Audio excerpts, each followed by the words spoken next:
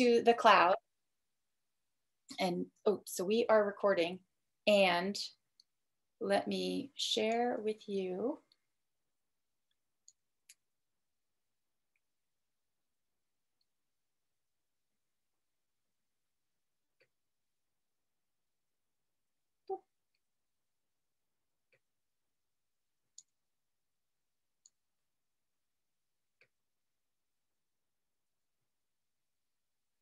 Okay, today we are talking, continuing to talk about the origins of Rus.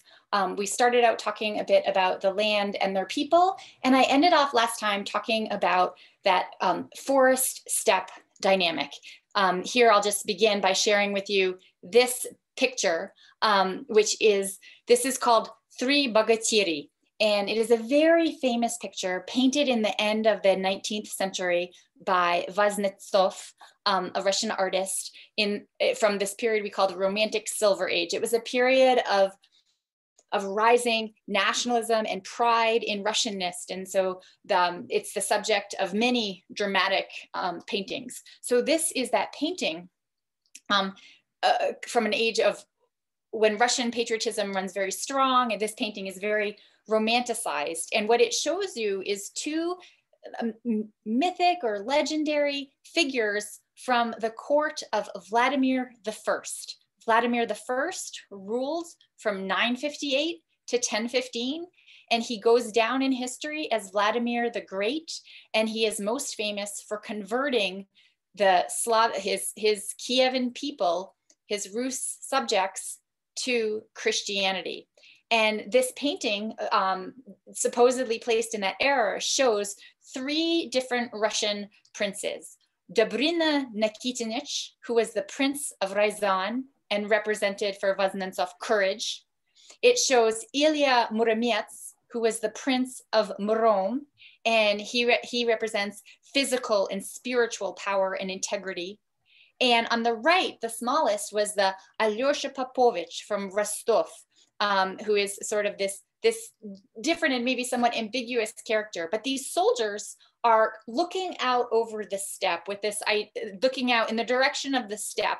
And the, the idea being that are there are there marauding invaders that might come and capture our Russian people, which I, as I talked about last year, was a real dynamic of um, that raiding, slave trading, nomadic culture that um, preyed on peasant villages that were at that edge of the steppe frontier. And so this is um, a painting that sort of captures that dynamic as well as capturing a sort of pride and Russian nationalism. And I want to show it to you as well because that dynamic entailed certain concerns like what does a state care about what does a state do with its resources and so that um, that providing security is one of the things that maybe the that that early Russian state did at some level seek to characterize. Now,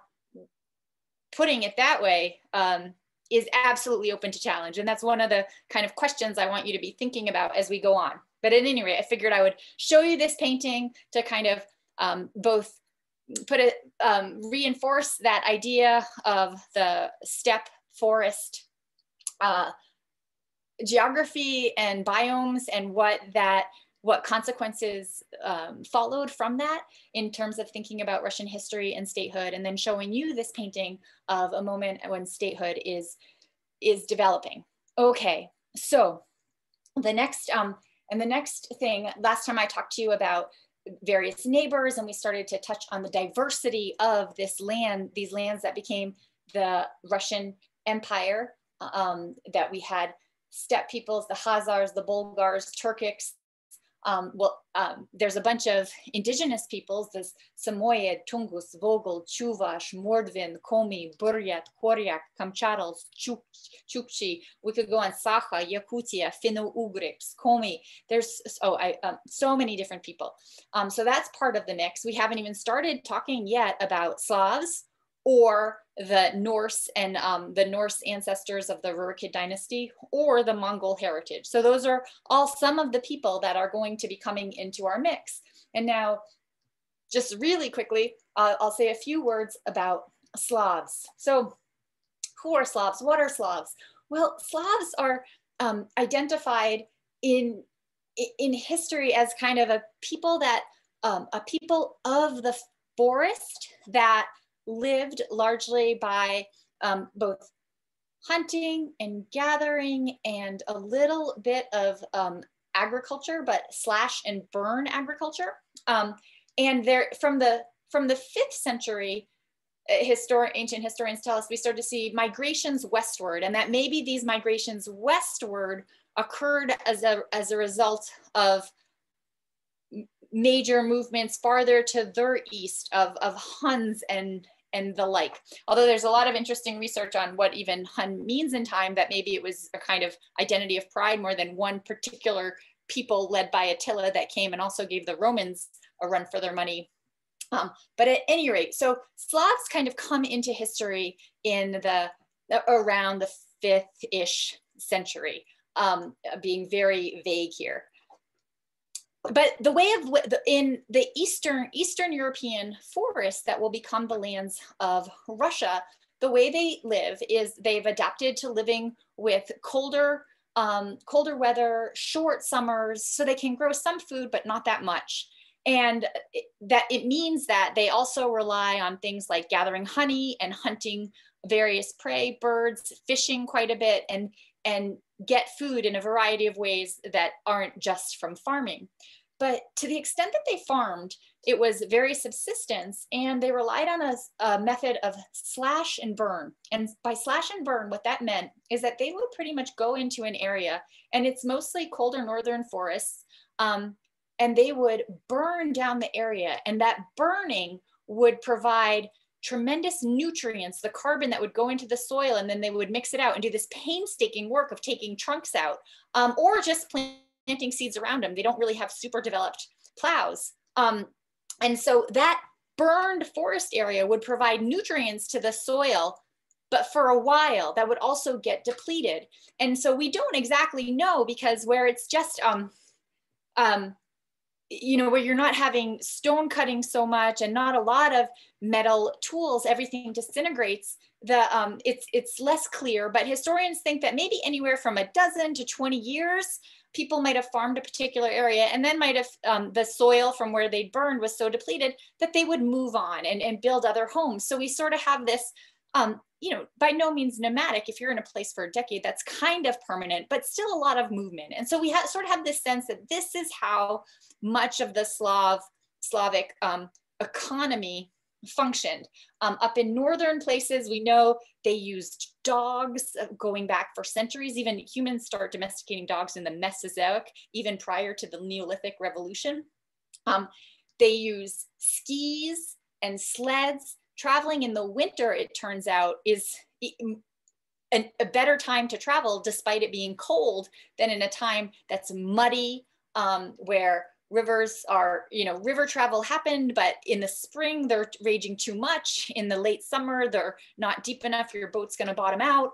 Um, but that, but snow and ice could, not always because ice could be uneven, but could provide a real low friction, even surface over which much travel happened with sleds and with skis. This is, um, this is a picture from Herberstein um, from the 16th century, bringing back a picture of how people lived in Russia. And we see someone with this one ski with a long pole, some a horse carrying a sled. Here is another one um, which shows someone, an early version of skijoring, having your dog on skis. This is a sport I have tried with my late dog. Um, and I, will show you other pictures where some people would set up a sail um, on their sled and, and in windy times maybe travel that way. Here is a picture from of a sled from a museum that I visited and um, and I'll show you I show you this picture of the work on the front and here I'm going to repeat um, something that my, uh, my professor, Lev Losev, told me when I took a Russian culture class as an undergrad. Lev Losev was a dissident poet who came to America in the 1970s and got found himself a teaching job. And one of the things that he said was that he made a cultural argument. Now I I have to repeat him because I'm I'm uncomfortable with cultural generalizations. They tend not to be very historical. And I worry that sometimes they do more harm than good, particularly that cultural generalization that Russians like an autocrat to rule over them. I really don't have um, too much use for that generalization. I think it's an example of a generalization that's done more harm than good. But I'm going to share with you a generalization that Lev Losev shared with us. And that was that Russians had a, a kind of maximalist personality. And that that was, and now this is a trope of the Russian Revolution. That, you know, why do these people go in for this crazy, crazy revolution? I mean, I don't, I don't want to go into it too much, but that, but there is in Russian intellectual history this idea that it, was there was a maximalist personality. Like we won't just have some freedom, we will have anarchy. Thank you, Pyotr Kropotkin. And and Lev Losev, he conveyed to us at least this idea of a kind of maximalist Russian personality. And he said he attributed it to the climate. And he said that if you are trying to live in a place that is cold and um, so many of the years are cold and the summer is short and fierce and the days are intensely long, that this led to a lifestyle where if you want to live, you work hard in the summers. So the summertime was that go, go, go, go, go nonstop, make hay. And you would have to do all this work to get your food up so you could live through the winter. But if you did that, then the winter was actually a quite pleasant time where you hold up in your cozy warm house that you've provisioned for well in the time you had of those long days of, of the short summer. And that Russians then would spend their time doing crafts like this and carving. So you see on this sled, you know, you don't need that design to live necessarily, but it is a it's a nice feature.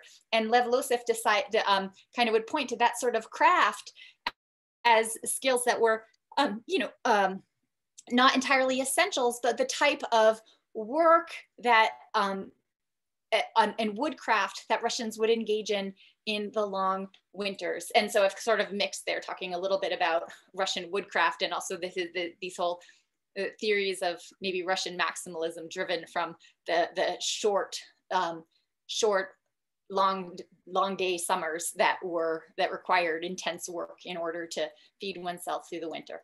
Um, okay, so that's a few words about these Slavs that live in this region. And this now, when I say this region, I'm starting to talk about the, um, it's sometimes referred to as the Pontic steppe. This map, which is from um, Zenon book, kind of shows a, a Kievan Rus. And what we see here, here's the Baltic Sea. We see all these river systems. No one river goes all the way through, but there's systems of rivers that people worked out portages that came all the way down here to the Black Sea. And then just across the Black Sea was Constantinople, one of the richest, most vibrant cities. And in the 800s, Vikings make their way into this part of the world and they and, and start going through on these trade routes. Here's a map of, of sort of Europe and then the Near East, and it shows um, various ways that the Vikings would go down on that purple land through the lands of Kiev. This is where the area we're going to be honing in. They'd also come um, out here all the way to the Volga Bulgars and come down the Volga through the Caspian, trade across the Caucasus, and then into here. Again, you're on the Anatolian um, peninsula and really from ancient times, vibrant trading, kind of the western terminus of the Silk Roads, um, and so there's much, there's much wealth and splendor to be gotten from Isfahan and Constantinople. And the Vikings, who were just, you know, everywhere in the early medieval period, are going there, not just to this part of the world. Some go to they go to Vinland on the coast of you know near Nova Scotia, right? In the year um, 1000, they come down, um, go inland through Europe and raid. They come down to, and the Normans on Sicily are of Viking descent, and other Vikings, um, Ros, um, which may derive from the word people who row, come through uh, the Baltics and come into these lands. Depending on where they land, Vikings, they had fast maneuverable boats. They were able attackers and they tended to operate on kind of attack and retreat, attack and retreat. But as they got farther and farther away in a place like um, the Pontic, Pontic steppes of the between the Dnieper and the Volga, it was harder to just go home and they started to stay. And so, um, and that is kind of what led to these uh, people of Scandinavian Viking descent coming and settling into these lands. Okay, so I've said a little bit about Slavs and I've said a little bit about Vikings. Before I move to the history of the primary chronicle, and I might not get there today, so mm, perhaps what I'll just do is end up with this one, with talk, saying a few words about the early history of Christianity.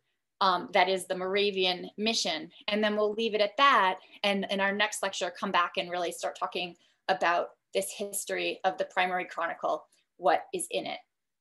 And so the, um, so kind of as a, a little bit of background before we talk about the Christianization of Rus, let's just talk about the Christianization of this part of the world as many of you, if you've taken Western Civ, you are familiar um, with the, um, I think Chantal said, you know, if you've taken Western Civ with Chantal, one of the main things you talk about there is the coming of Christianity into Western European history. And it begins in the Roman Empire and it spreads and it spreads tremendously.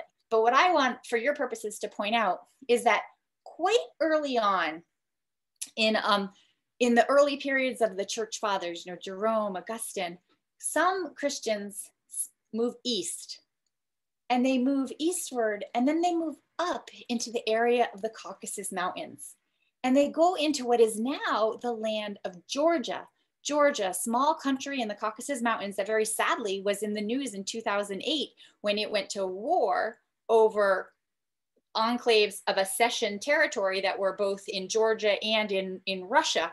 Um, but Georgia is this country in the Caucasus, mostly surrounded by lands that became um, Muslim, whether Sunni or Shiite, and there was both um, in that mix that were that adopted Christianity very early. Being in the mountains and quite typical for mountains, it adopted a very, um, it didn't have as much contact with Rome and the rest of the Western world and didn't keep in step with how Latin Christianity developed. And so people that um, have studied Georgian Christianity have found that it's Christianity, but it isn't, it isn't the Latin Christianity, it isn't Orthodox Christianity. It's it's got some particularities of its own, born from its long relative isolation.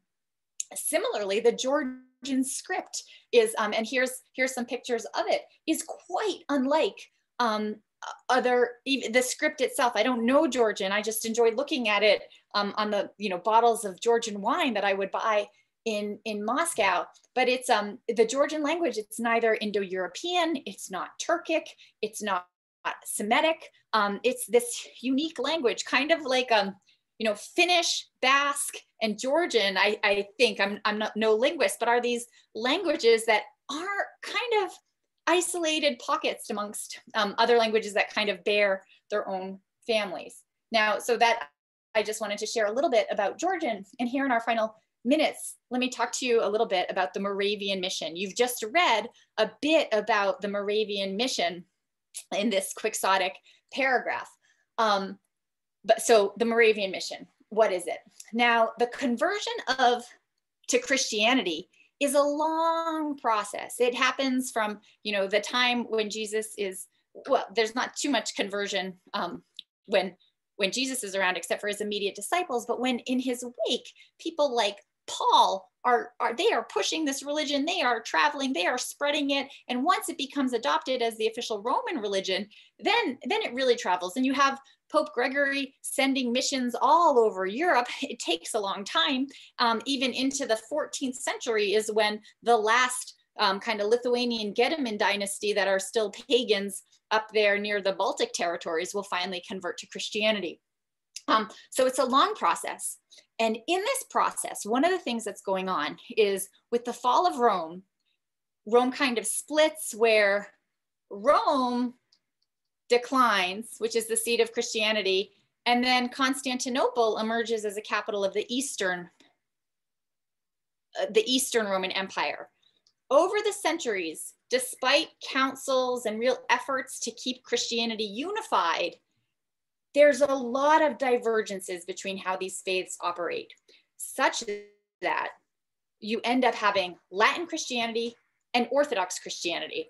Although that split, to be to be clear and pay attention because of the dates of this conversion and chronicle, um, that split happens officially in 1054. Of course, they've had tiffs before, and in 1054, everyone thinks that they'll bring things back together. We even have a Council of Florence in 1439 that comes up with a plan for how to do that. Never happens or hasn't happened yet.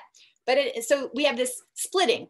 Now, as places are converting, in Eastern and Central Europe, some rulers sort of have this thinking like, do I go west or do I go east? Because um, the power that goes with politics and religion, the power that goes with religion, many politicians find useful for their purposes. And so we see some real fellow traveling, to put it super simply.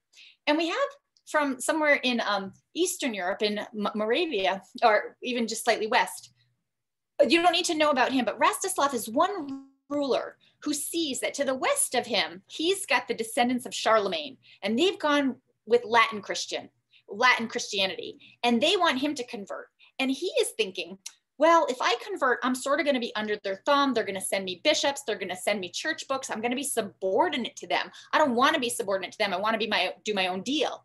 And he says, but looks like this Christianity thing is pretty effective for unifying people. So why don't I be Christianity? But I'm going to do a runaround on these Ottonians that think I'm going to be their guy, or um, or Charlemagne, Charlemagne's sons. And so he sends messengers to Constantinople and say, "Hey, I want to take up Christianity. Can you convert me?" Because he understands that then it'll be a way of reaping the benefits of Christianity, but not being under the thumb of the Latin Christian rivals to his west. And so Constantinople gets the memo and they're like, great, awesome. And they send these guys, Cyril and Methodius, to go convert them. As I said, Cyril and Methodius are two monks, and in the 1860s, they go to these Moravian lands in Eastern Europe, and their mission has tremendous effects.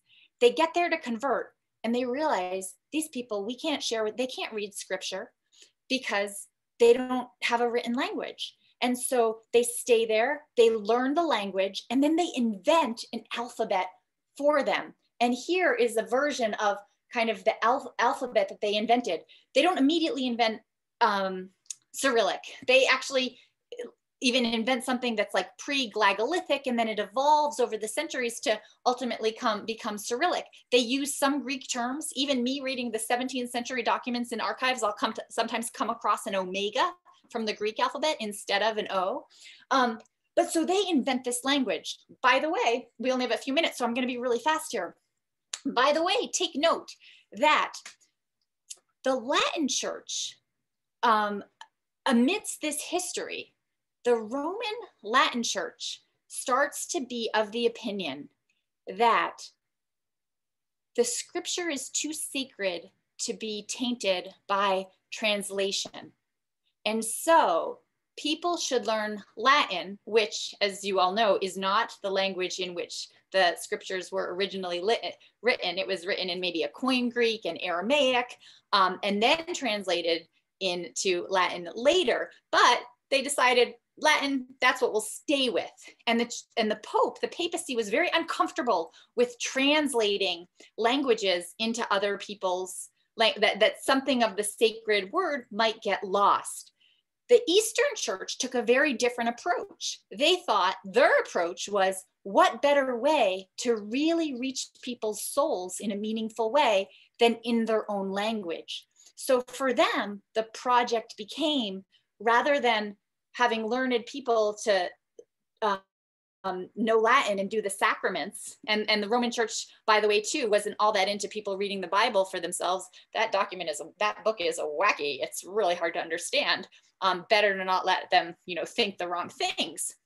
Unlike, say, Islam, where people should read the Quran themselves and know how to read it for that reason. So the Orthodox world, maybe something in between that, thought that people should be preached to in their own language and that the scriptures should be in those particular languages. And so that was a driver behind um, what Cyril and Methodius were up to in this Moravian, Moravian mission, inventing a language with which to copy the scriptures, um, with which to convert Slavs to Christianity. Um, I'm going to stop there. Um, so we've talked a little bit about Scandinavia, Vikings coming, Slavs already being there, and this project of Christianization. And in our next lecture, we'll start to talk about the primary chronicle. All right, thank you for your attention. I'm gonna